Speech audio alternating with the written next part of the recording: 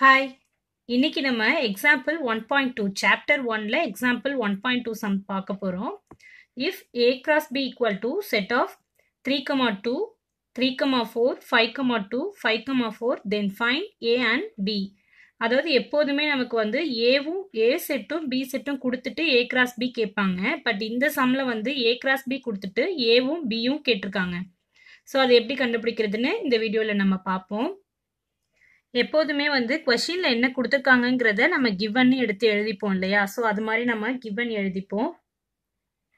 So இந்த சம்மில் வந்து கிவன் என்னன்னா A cross B A cross B equal to set of three comma two three comma four five comma two five comma four so இந்த A cross B கொடுத்துட்டு அவங்க என்ன கேட்குறாங்கன்னா ஏவும் பியும் கேட்குறாங்க ஃபர்ஸ்ட் வந்து என்ன இருக்கு? ஏ இருக்கு. ஏ கிராஸ் பியில் ஃபர்ஸ்ட் ஏ இருக்கு. ஸோ இதோட ஃபர்ஸ்ட் எலமெண்ட் எல்லாமே வந்து ஏன்னு எடுத்துக்கணும்.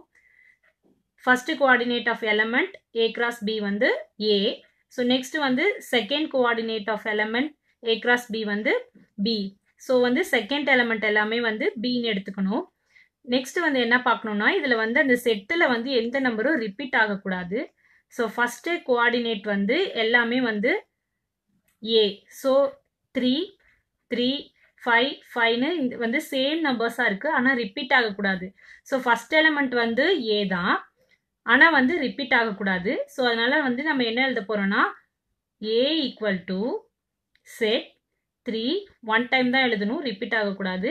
நெக்ஸ்ட் வந்து என்ன? ஃபைவ் ஸோ ஏவோட செட் வந்து த்ரீ கமா ஃபைவ் நெக்ஸ்ட் வந்து பி செகண்ட் கோஆர்டினேட் வந்து பி ஸோ அதனால வந்து நம்ம செகண்ட் கோஆர்டினேட் செகண்ட் எலமெண்ட் பார்க்க போகிறோம் two four two four but repeat ஆகக்கூடாது.